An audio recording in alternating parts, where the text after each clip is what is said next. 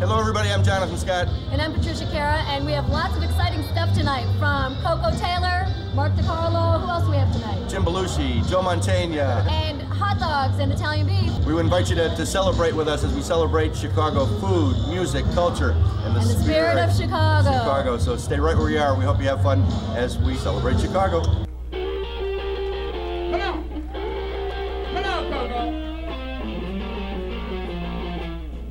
Visit the old neighborhoods with our stars Jim Belushi, Shelley Berman, Mark DeCarlo, Tom Dreesen, Joe Mantegna, Joel Murray,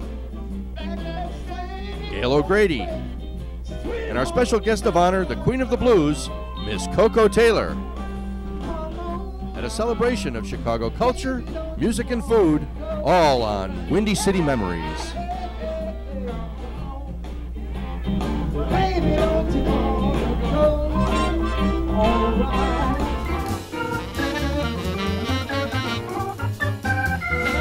We're at the Chicago Party Alliance, and we're talking Windy City memories. What are your Windy City memories? Do you live here?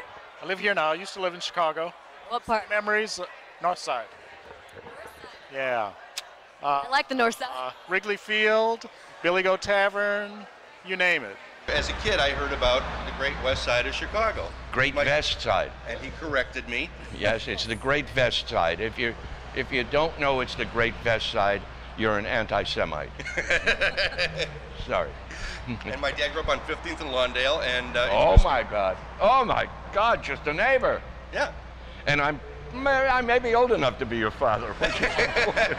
You may be my father. That's right. That's right. I grew up in Chicago, so I grew up in Wheaton, Illinois. I go back as often as I can. So, in fact, I'm, when I'm done filming right now, I'm heading back to Wheaton.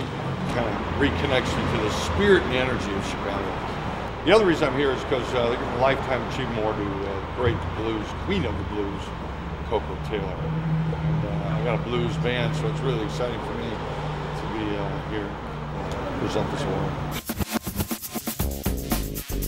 I grew up in Wilmette, Illinois, north of Chicago, on the lake there. Beautiful North Shore. Went to Loyola Academy High School. The Ramblers. Always loved that. Our team is named after men who stay out late and drink and leave their wives. That's what a Rambler is, right?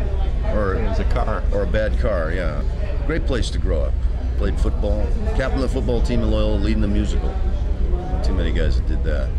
Hello there, we're doing Windy City memories. So, first, let's discuss you're from Chicago. I'm originally from Chicago. I was born uh, in uh, West Rogers Park. 2002, I produced Bleacher Bums for Showtime, which was uh, we bought the rights from Joe Mantegna, who I just saw down the line, and we made that film. Uh, it was kind of a poem to the fans of the Chicago Cubs. What part of Chicago? Arlington Heights, suburbs, northwest suburbs. Suburbs. Yep. Yeah, that's right. Yeah. Fondest uh, Windy City memories?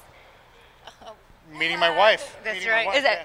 From Chicago, and we uh, we got engaged and running down Michigan Avenue and Yeah. taking a carriage ride. Yeah, and we. we It's the best, uh, Even though we moved here, we went back and got married there.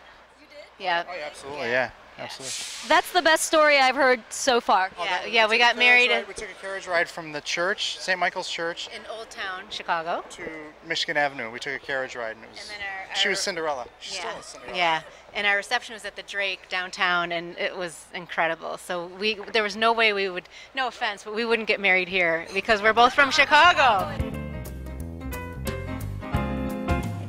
Uh, Northwest Side, Von Steuben High School. Go Panthers. My father. Descendant. Dis- direct descendant. Hello. Yeah. Uh, any, uh, I'm from Glencoe. Glencoe. any Windy City memories that you'd like to share with us? Anything we should know about? I always go to chicago to check out my friends over at Second City. It's the best entertainment you can possibly get in the world. And what is your um, fondest memory uh, in Chicago? Oh, I grew up on Oakley Avenue in the Italian neighborhood. Uh, I ran the Court Theater at the University of Chicago for many years and the Hull House Theater, and I was in Second City in the in the 60s, long time ago. Those are yeah, well, 40, 45 years ago. So um, it's a great city with a lot of heart, and people are friendly, and they really mean it. And I love that about Chicago. Let's start with uh, neighborhoods. I grew up on the west side. I grew up around the old, um, the old Sears Roebuck was on Homan and Arthington, uh, Garfield Park area. Went to uh, Gregory School, grammar school. Then went to Mother Cabrini. My mother went to Marshall. My father went to Grenier. My brother went to Austin. So we kind of covered the waterfront there. Then it was later during my high school years we moved to um, we moved to uh, Cicero, the lovely uh, garden spot of Illinois, uh, Cicero. where I went to Morton East High School. So I guess you'd have to say I was West Side. I was pretty much West Side. What about you? I'm South Side, strictly South Side. Uh, grew up in Harvey. You know, went to uh, I went to uh, Catholic school, Ascension Catholic school, and I went to a public school, Bryant. Then I went to Thornton High School. Uh, all my brothers and sisters went there. Several brothers went to Joliet Prison. I had an uncle. Yes, I think a lot of us have, have, have relatives who went to college, as we like to say, uh, at various universities, uh, Joliet included. And, and very, you know, how many how many can say you had someone in your family got out of college for good behavior? Yes, exactly right. And you know, you put your four years in wherever you need to do it. Some do it at university, some do it at college.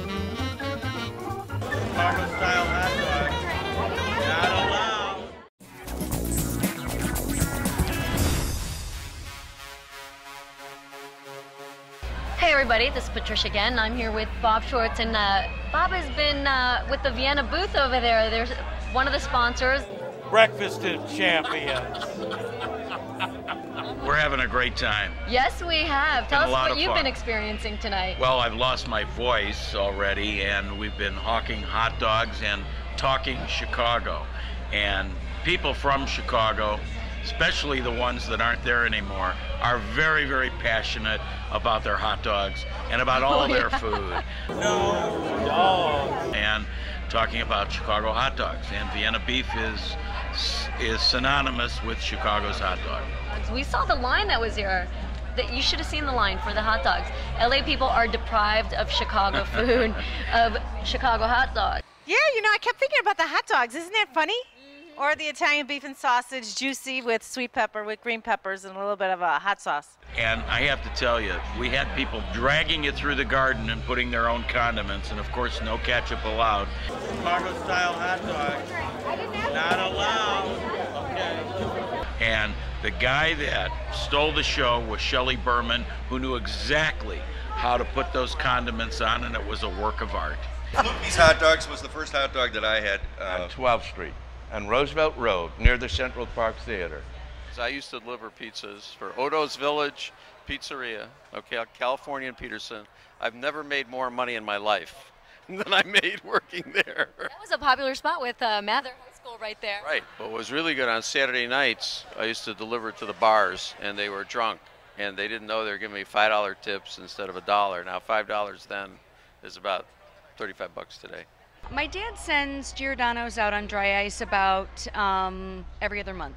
Yeah, you got the stuffed pizza at Giordano's. Pizano's is good. Definitely my favorite beef. Uh, it's got to be Al's Beef on Taylor Street. And the Italian ice place across the street. That's a great lunch. If you want to have a 6,000 calorie lunch, you go to Al's Beef on Taylor Street. You have a beef sandwich with hot peppers, and you go across the street and you have a little Italian ice, and then you're done for the day. It's a place called Chuck Wagon in Wilmette, owned by a Greek guy, Sam. They've got the best gyros as well. They've got a great hot dog, but the gyro is, it's about a 11 pound gyro. It's enormous, and uh, you need about 25 napkins. Well, it's something you get hot peppers too, and so you put it the sauce on the hot pepper. So it's just great, and um, and the celery salt on your hot dogs. She's going all out. Poppy seed on your bun. Favorite foods? Favorite foods? I love Thai food. I love um, Giordano's pizza. You gotta love Portillo's, baby. Oh yes, like Due's pizza. yeah, Uno's or Due's. The favorite Chicago food is Taste Chicago in Burbank. Chicago, Burbank. Yeah, Joe's place. No, I'd say Portillo's. I gotta say Portillo's, yeah. Well, Portillo's and and uh, and actually Lou Malnati's pizza too. Yes, yeah. Uh, Manny's Coffee Shop has the best corned beef in all of Chicago. There's no better place to be on the 4th of July than Taste of Chicago in Grant Park. And uh, you know, I've been to like 350 cities doing this uh, Taste of America on the Travel Channel, and all the ci- every city in America is cool and has its own thing. But? There's something about Chicagoans, and uh, you meet them on the street. Uh, uh, people will come up to me in airports because they know I'm from Chicago and just go, "Go Cubs!" My idea of a great day in Chicago, a great day, would be like getting up in the morning in Chicago, say staying at the uh, at the Sutton Hotel, which is right on Rush Street, you know, or the Ambassador East. They're both great hotels. Get up and, and, and over to the Lux Bar and you have breakfast. After you have, you know, with all your buddies, meet with all the guys. After that, you head for Wrigley Field. You watch the Cubs win a ball game. You leave there and you go down the Rush Street. You know, first of all, you go across the street and have a few beers at Murphy's Bar. Then, then you go down the Rush Street and you have dinner either at Gibson's or at the Tavern on Rush or, or at Carmine's if you want Italian food. Or go over to Little Italy Rosebud, you know, Tuscany. I mean, there's so many places you can go after after a game at you know, Wrigley Field. And then you meet some girl in one of those places, you know, and, you know, have a little few drinks and you take her back to one of those hotels and you have a wonderful evening and then you leave her there and go back out on Rush Street and meet all your buddies and have a few beers. That's what I call Another it. girl. That's, that's good. That's a perfect day. Perfect day in Chicago. Uh, Bears, Cubs, Bulls.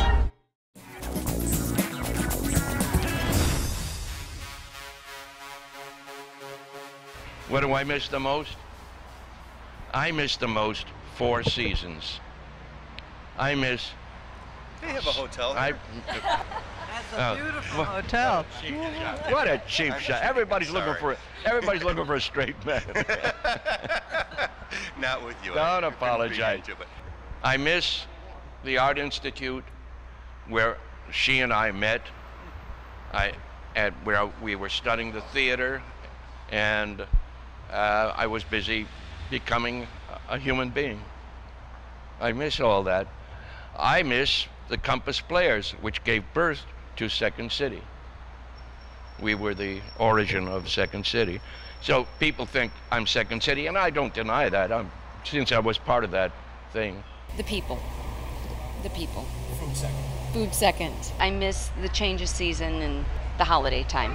Do you miss Chicago? I do. I miss it a lot. And I, the times that I've been back, and I'm going back next week, I've been really impressed at the improvements in the city. I think Dick Daley Jr. is doing a, a wonderful job.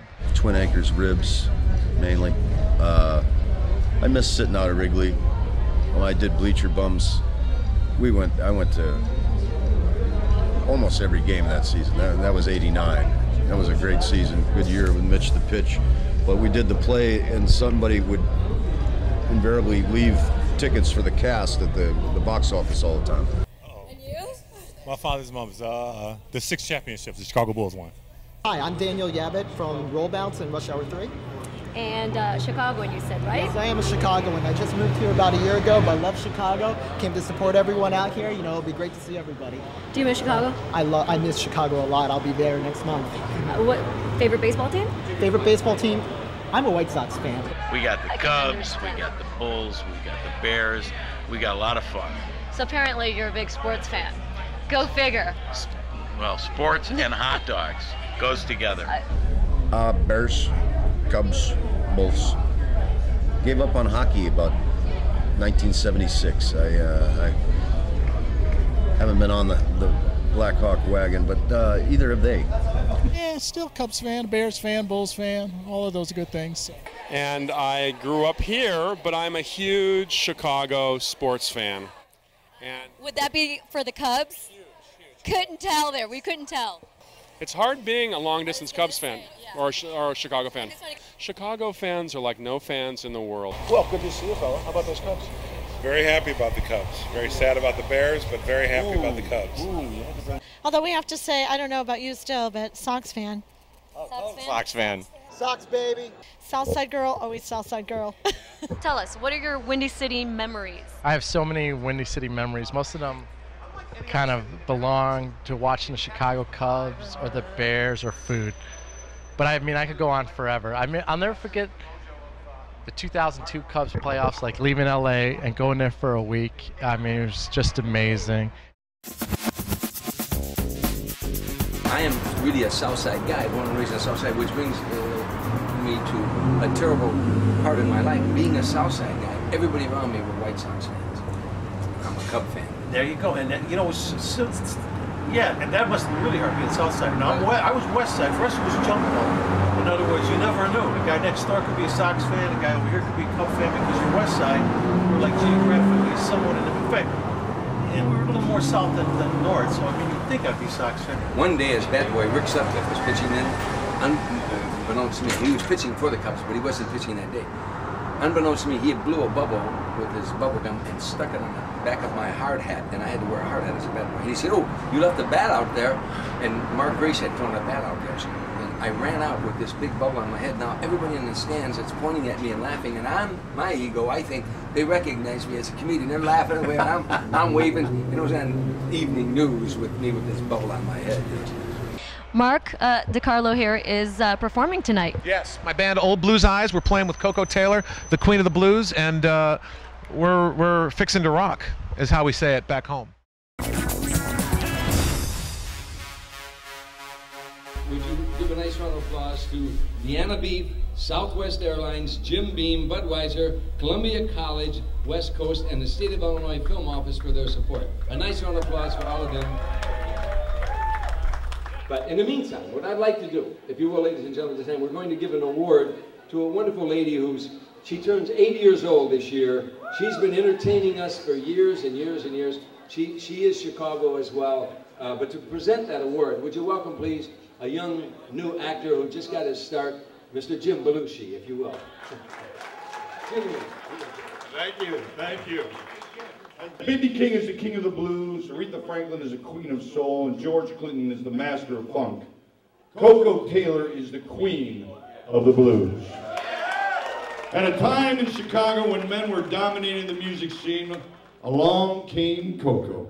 She stepped up, established a career, and held her own, matching the male artist record for record and hit for hit. Wang Dang Doodle will always belong to tonight's honoree. After decades in her profession with all the triumphs and trials that come as a career grows, she becomes immortal. This lady shows no sign of stopping. She had a gig last night in Phoenix. Will you please welcome to the stage Grammy and Handy Award winning recording artist, American musical icon, world famous legend, inspiration to everyone singing and playing this art form today. Here's the one and only Queen of the Blues, Koko Taylor,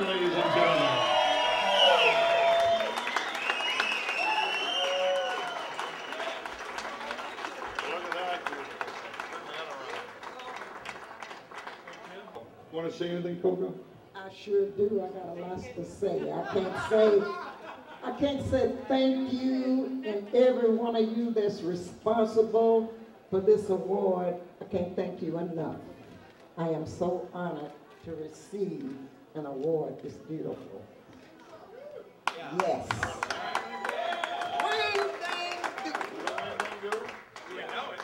Come on, Koko Taylor, ladies and gentlemen.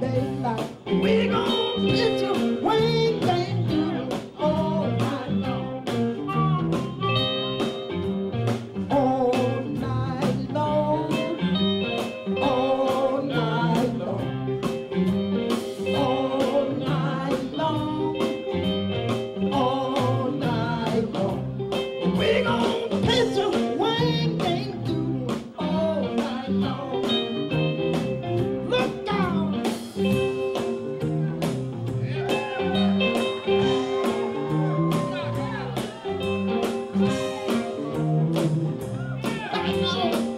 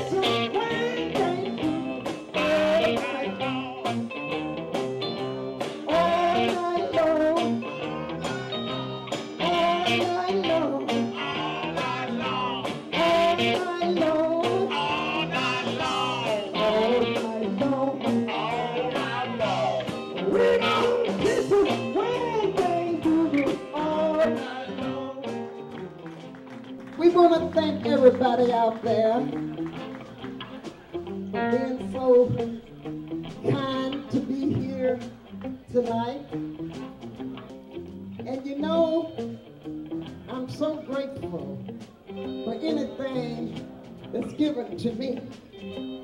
Because it's something that people don't have to do is to give. Yeah, they can sell, but they don't have to give you nothing. And I am so honored for whatever somebody give to me in my hand. Oh yeah. Makes me feel real good and very special. I'm Jonathon Scott. And I'm Patricia Kara, and we've been rocking the house here. On behalf of Windy City Memories and all of our great celebrities and sponsors, we want to thank you for watching, and we'll see you next time. Next year, see you here. Catch ya.